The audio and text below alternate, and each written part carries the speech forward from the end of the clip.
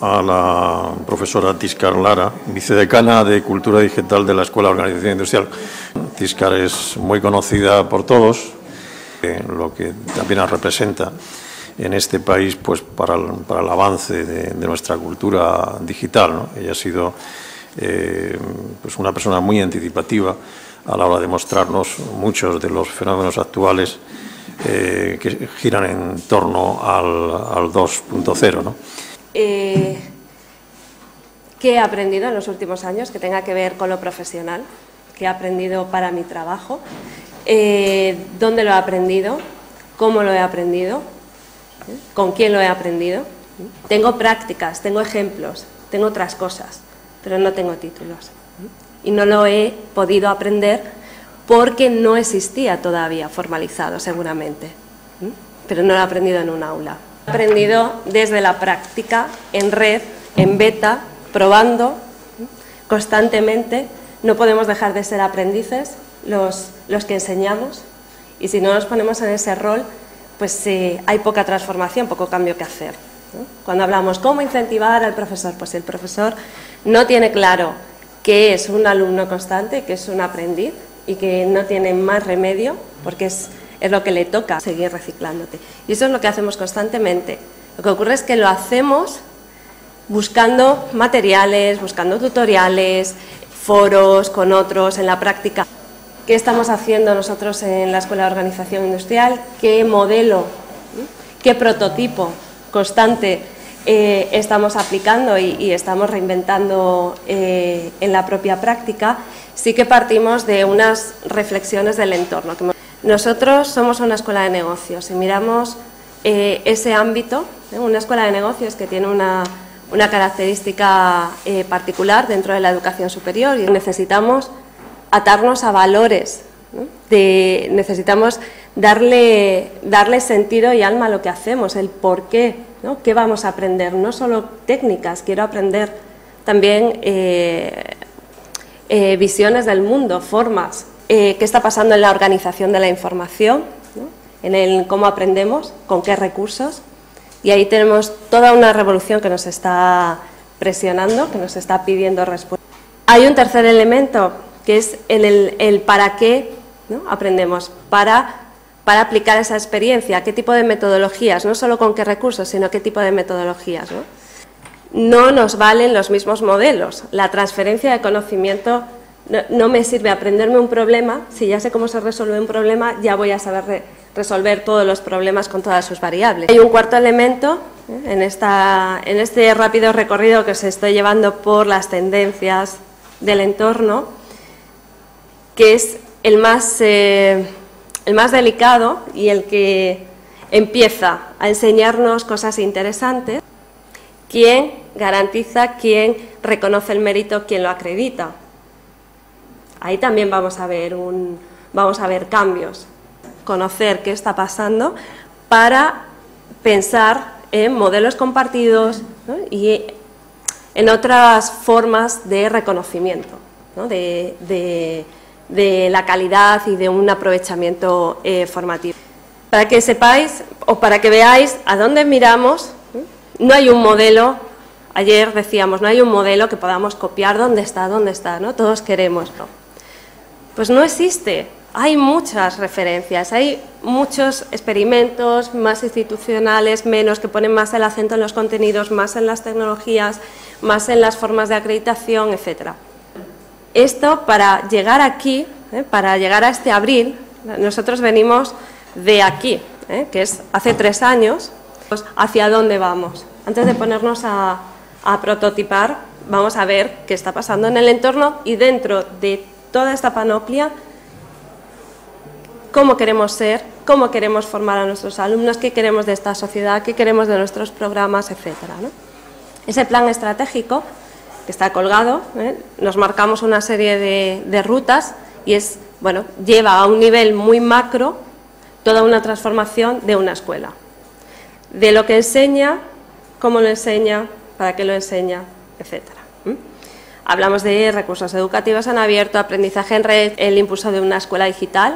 ¿eh? Nos basamos en cuatro elementos, que es lo digital, la sostenibilidad, la emprendeduría y la internacionalización. Esos cuatro conceptos son los que, los que nos rigen, y todos están muy relacionados. ¿Qué hemos hecho desde entonces? Pues ponernos a trabajar. Hemos llegado eh, algunos hitos que nos, que nos estábamos eh, poniendo, a otros no, otros los hemos eh, superado. ¿En qué se ve este proyecto de movilidad, de uso de tecnologías móviles? Hay un, concepto que, nos rige, que nos ayuda, que es más importante que utilicemos este otro tipo de herramienta, que es esta idea de lo abierto.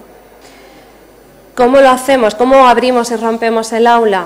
Pues la tecnología básica, la más importante, que no es la única, pero muy importante, fue la apuesta ya en su momento por las tecnologías móviles. ¿no? Esta idea de, bueno, pues ya dónde está el aula, cada vez queremos que, se mueva más, ¿no? y, y, cuantas menos clases presenciales clásicas tengamos, mejor. Los estudiantes, una clave del modelo es que nosotros les proveemos de esos dispositivos, es parte de su matrícula porque es, es el estuche digital tenemos que sentirla como nuestra, como algo que está en nuestros tiempos formales y en nuestros tiempos informales, para ocio, para negocio, para aprendizaje, para entretenimiento.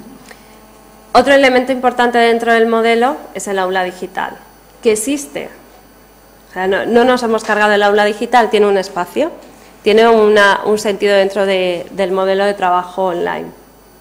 Es lo más parecido, lo que está más apegado al aula tradicional. Es la réplica, sabes, los roles, es lo más jerárquico que, existe. Tienen el blog y el primer día nosotros les damos, estos son tus espacios de interacción, los fundamentales, es un pequeño PLE. Está también la idea de aula abierta.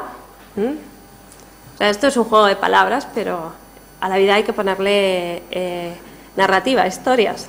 Tenemos que poner eh, cierta poesía a, lo que hacemos para coser eh, este tipo de, retazos. Pues esta idea de, aula abierta jugamos con ella a través de Google Sites. Como veis son tecnologías muy ligeras todas. Lo que estoy favoreciendo es que las clases se miren entre sí, que eso es fundamental y es una obsesión que tenemos. Cuando hablamos de diseño es qué tipo de acciones están en mi mano para facilitar ciertas interacciones y que se produzcan cosas. ¿Qué puedo hacer yo como gestor para facilitar que el conocimiento no se quede, no sea efímero, no se quede encerrado en esos minigrupos, que es primero materia, materia, materia, conocimientos, conocimientos, y cuando ya estamos casi terminando, ahora hay que hacer un proyecto en grupo. Se supone que tienes que saber los conocimientos muy bien para luego pensar el proyecto, pero nunca pensamos que se pueda hacer al revés, que se puedan ir incorporando según necesidades claras de, un proyecto. Y además, en cuanto a la forma, ¿eh? normalmente es algo que se hace entre cuatro, cuatro o cinco, se hace en trocitos. Un proyecto en grupo ya sabemos cómo es, a la española, ¿no? Hay uno que a lo mejor no hace nada, hay otro que se pega la panzada por la noche, se reparten tú de aquí a aquí, pegamos y luego entregamos. Porque un proyecto en equipo en el mundo profesional no es así. No hay un profesor más o menos benevolente que al final te va a poner un 5. No es la forma de trabajar ni es el resultado esperado. Pues esta idea del work in progress, de eh, ir actualizando y publicando los avances de, de un proyecto que está imperfecto, que está en beta. Otra cosa con la que estamos trabajando y que todo tiene relación con lo móvil, porque hay que preparar también los contenidos para lo móvil, para el dispositivo, para que no estén pegados al territorio. Colgarlos catalogados, etiquetados, eh, colgarlos para que se puedan compartir en otros sitios. ¿Por qué no facilitarlo y ponerlo en dos sitios? ¿Por qué? Se cuelgan ahí también con licencias, Creative Commons. ¿eh? Esto nos ha obligado es una fundación del sector público, es una escuela pública ¿eh? hoy. Y eso también explica el carácter de, la visión que tenemos de lo público y lo abierto, ¿no? del por qué es nuestra obligación el, ceder ¿no? y el abrir eh, conocimiento eh, tanto como, como, podamos. Entonces, el poner a los alumnos en esta primera línea pues tiene sus eh, detractores. Hay mucha gente que dice, pero no, puede ser, ¿no? Eh, los tienes que cuidar, los tienes que como que proteger. ¿no? Yo les protejo formándoles. Esa es mi manera de protegerles, explicándoles por qué es bueno y por qué tienen que tener un perfil profesional en LinkedIn. El llevar a nuestros alumnos desde el espacio clásico, que cada vez se hace más pequeño y que tiene que convivir y compartir espacio con otros entornos, desde el aula virtual, ese privado restringido que está muy bien, que tiene que estar, para las últimas calificaciones, bueno, ese sitio de somos los que somos, aquí nosotros y los profesores, nadie más. Pero si nos quedásemos solo en ese espacio, o sea, pensar un modelo de educación online solo en el aula virtual, con esos eh, compañeros de viaje, pues es, es es empobrecedor con las oportunidades que tenemos de aprendizaje con otros, en otros espacios, de otros contenidos, más allá de la institución. Lo que hay que ver son formas de conectarlo todo. ¿Cómo ayudar? La manera en la que estamos nosotros trabajando con ese diseño por etiqueta, tiramos mucho de RSS y de, de marca, para, para recoger ese valor informal de lo que se derrama. Ahora, cuando es instruccional, si el profesor pide el debate, es en LinkedIn, ahí está, ahí lo recoge. Pero para que no se nos pierda lo que gotea y que tiene mucho valor, pero a mí no me cuesta nada y lo, lo tengo integrado, su etiqueta, cuando pongo el Twitter lo pongo, lo que buscamos es una transformación, una, una visión de sociedad abierta, de unas, unas maneras de, aprender, unas maneras de enseñar y unas maneras de ser profesional y ciudadano. Pero es que nos están pidiendo a gritos cambios en lo físico. Las bibliotecas están pensadas para un modelo de, de escuela del silencio, de la memorización, eh, conversar no pueden ser espacios de silencio, tenemos que discutir cosas, tenemos eh, que estar a gusto, decidir si preferimos un sillón bajo para leer, para mirar el tablet, eh, que se pueda enchufar, obviamente, ese tipo de cosas, o una silla alta porque vamos a estar a la vez comiendo un sándwich, porque tenemos una máquina de vending y estamos trabajando en, en grupo, etcétera. O sea que las redes, el wifi libre, fácil. Si es muy complicado y quieres que la gente publique fotos, que vengan a tus conferencias, que puedan subir, que puedan comentar, pues no se lo pongas complicado, ¿no? Ese tipo de, cosas que no cuestan nada. Foros de, de mejora continua físicos en tablones, composite, pero también en Facebook, los tenemos abiertos. Los borradores de los programas se ponen en Facebook para que se puedan comentar los antiguos alumnos, quien pase por allí, por la página. Las clases han abierto, cada vez estamos haciendo más con video streaming, o sea, clases, no conferencias, salón de actos, sino qué pasaría, pero buscando el qué pasaría, qué pasaría una clase, que parece que no hay nadie invitado, si la pongo en streaming, se conectan pues ocho que están en cualquier sitio o en Perú pueden entrar en la clase, ¿no? Es disruptivo, pero es enriquecedor. Bueno, pues ese tipo de dinámicas. Todos los estudios, todos los proyectos, eso también ha sido un trabajo con los investigadores. La metodología de trabajo también es eh, en blogs, en work in progress.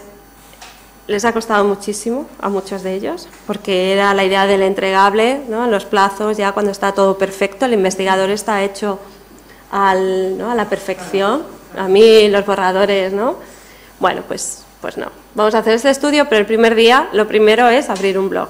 Empieza ya a hablar, ¿no? Todo lo que muevas, la información, esto que ves que haya, ¿no? que, que vas circulando, lo vas comentando ahí. ¿eh? Y todos los borradores en abierto, para poder ganar, porque enriquece, ¿no? Porque ganas si, eh, para que vean los errores al final, pues que te ayude, ¿no? La gente siempre te puede enriquecer. Doble estrategia, contenidos en repositorios propios, pero también en la nube, también en SlideShare, también en YouTube, ¿por qué no? Porque también hay personas allí, son otros espacios, ¿no? Hay que facilitar siempre las conferencias, talleres, todo abierto, con streaming, ¿no? todos los eventos. Y termino con estas otras dinámicas que también están dentro de lo cultural y de, ir creando ese clima, el pro contenidos eh, libres, cosas que hemos hecho la Semana de Obras Libres en Madrid en mayo con otras instituciones, trajimos eh, grupos de música que publican en Creative Commons, dieron conciertos en, el, jardín, hubo eh, debates con la industria cultural también sobre el tema, a, eh, visitar granjas de, autoconsumo. ¿Por qué ser abiertos, ser digitales, compartir fue la clave de su éxito, de su emergencia y de haber encontrado esa sostenibilidad.